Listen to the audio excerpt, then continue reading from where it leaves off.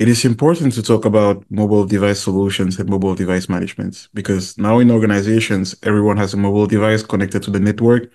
Everyone has, it's like thousands of mobile devices given to every employees and they're all connected to the network. So how can this be managed? How can this be secure?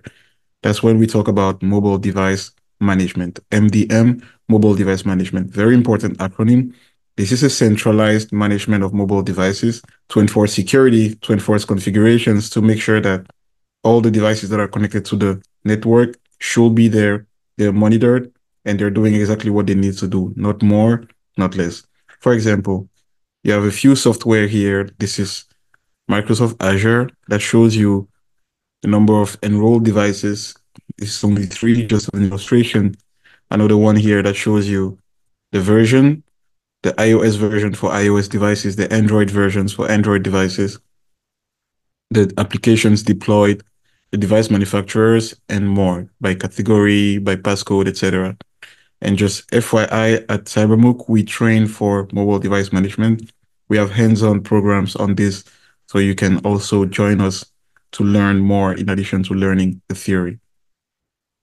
So that's mobile device management, MDM, a centralized way to manage devices.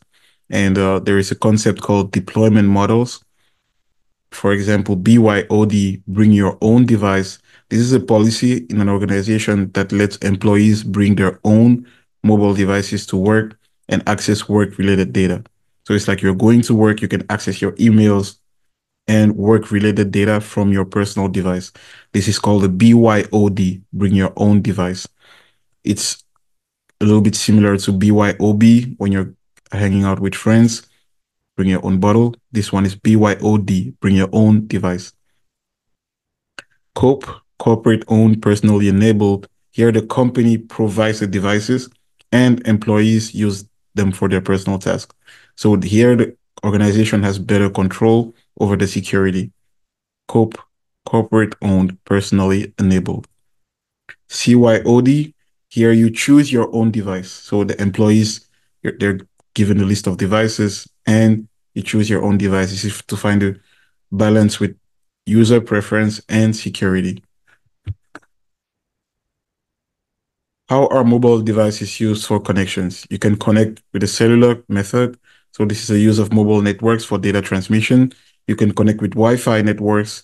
This is wireless local networks and Bluetooth, Bluetooth short range of wireless communication to networks. Let's talk about wireless security. So wireless security is important because as much as you, you secure physical devices, you also have to secure the transmissions that you don't see, the wireless transmissions. And today, every device uses wireless security. Laptops, servers, mobile phones, all those devices, they use wireless security to connect to networks. Wireless security configurations to protect wireless networks from unauthorized access. You don't want someone sitting outside of the office or within the office able to access things that they shouldn't. So this includes encryption methods like WPA3. What is WPA3? Wi-Fi Protected Access version 3. This is a Wi-Fi security protocol that provides encryption. So it ensures that your devices are secure, your wireless network is secure. Today, the most secure ones are WPA3 and WPA2. Radius is a centralized way of authenticating for users connecting to the network. So it's one central authentication service. It's called Radius, Radius for Remote Authentication Dial-in User Service. This centralizes authentication for different kind of systems and it's for remote for remote devices as well. It's one of the most common authentication servers, and it can centralize authentication for many different kinds of systems. So routers, switches, firewalls, all of them connect to one central Radius server that connects to the back end. So for example, you have a Radius server here in Atlanta, and you have all the different offices from LA, from Houston, and others connecting to one centralized server which then gives access to the internal server. That's called Radius, Remote Authentication Dial-in User Service. To protect wireless networks, you also have the use of secure protocols like AES to protect data at rest. So for encryption of data at rest, remember Data at rest is data that is not used, is stored in a hard drive or within the cloud, but it's not actively used. And you have TLS. TLS is to protect data in transit. So TLS is what gives you HTTPS when you're using a web browser, when you're downloading data. You have TLS that protects data in transit. That's data that is actively moving within the network. You also have authentication protocols. For example, EAP, Extensible Authentication Protocol. This is used to verify user identities.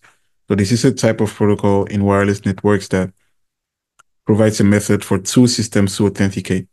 And it, pre it prevents access until authentication is successful. So you have to successfully authenticate before you get access. For example, here you have Marlene trying to connect to cybermuk.com. Now, what happens first?